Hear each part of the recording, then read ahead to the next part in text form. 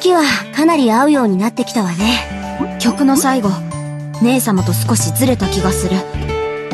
完璧に覚えたはずなのに、どこかで間違えた。それとも、何度も通しでやったから、疲れが溜まって徐々にずれた。少し休憩を。リアもしそうなら、もっと体力をつけなきゃ。疲れて動けないなんて、本番だったらシャレにならない。トレーニングメニュー、見直さないと。リアったら、体力だけじゃない。ボイストレーニングの方もしっかりやらないと。ダンスができても、歌がダメじゃ意味がない。もっともっと練習しなくちゃ。だって、今度のライブは、リアね、姉様。ようやくこっちを向いたわね。どうしたの？気分が悪いなら。大丈夫。ごめんなさい。姉様の声に気づかないなんて。いいのよ。けど、今日の練習はここまでにしましょうか。そんな私なら本当に平気。ダンス、もう一回最初からやってみよう。もっと体に覚え込ませて。あまり根を詰めすぎるのも良くないわ。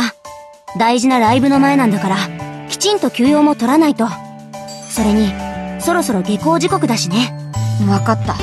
まだ練習したい気持ちは、私にもあるわ。なんせ今度のライブは、あのアクアと一緒にやるんだから。うん。私は、姉様と最高のパフォーマンスをしたいだけ。アクアのことを気にしてるわけじゃない。そう？リアは結構顔に出るタイプよね。え？べ、別に何も出てない。今更隠しても遅いわよ。もうすぐね、アクアとの合同ライブ。函館ユニットカーニバル。うん。アクアが函館に来る。楽しみね。うん。いや、別に楽しみじゃない。そんなに否定することないじゃない。私は楽しみよ。合同ライブ。こんな機会、めったにないもの。姉様。初めてアクアに会った時は、まさか一緒にライブをする日が来るなんて、夢にも思わなかったわね。こんなに、熱い気持ちになることも。あの時のアクアは、歌もダンスも甘くて、遊んでるみたいで。あれでラブライブ優勝を目指してるなんて、許せなかった。勝ちたいですかって、大真面目に聞かれた時は、呆れて怒る気も湧かなかったわ。でも、今のアクアは、あの頃とは全くの別物。今の彼女たちには、周りを引きつける強い輝きがある。一本通った芯がある。何かが、彼女たちの中で変わったのね。それでも負けられない。相手がどんなにすごくたって、私たちは戦える。頼もしいわね。まあ、今回は順位を競うわけじゃないけど、お互いに協力してライブを盛り上げるのよ。協力？アクアと協力？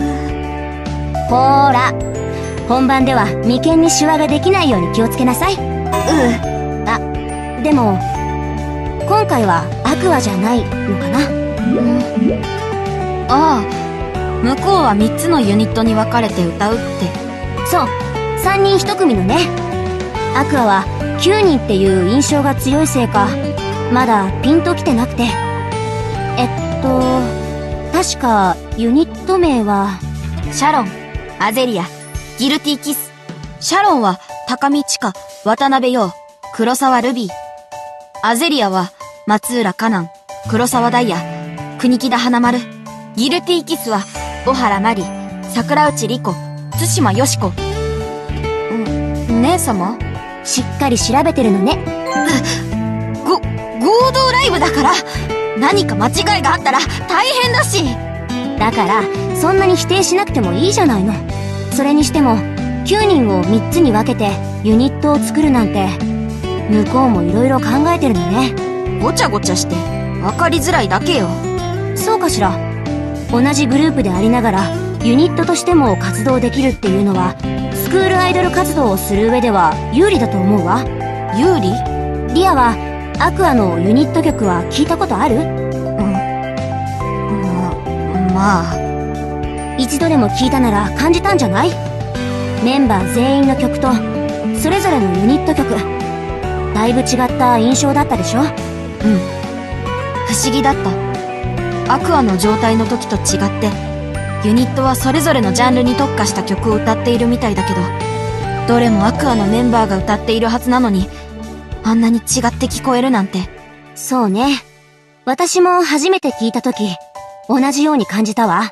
ずっと同じメンバーで歌い続けるより、変化をつけることで、聞き手に刺激を与えることができるのね。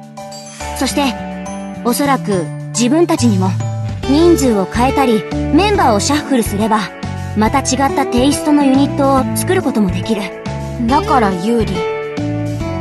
同じでありながら、違うものでもあること。もし、それと同じことを、セイントスノーがやろうとするなら、同じことを私たちが、メンバーを、それぞれ分ける。あ、だ、ダメえ？そんなのダメ姉様と一緒に歌えないなら意味がない大丈夫よ。わかってる。セイントスノーは、アクアと同じ方法を取ることはできない。でも、できないから劣っている、なんてことは絶対ないわ。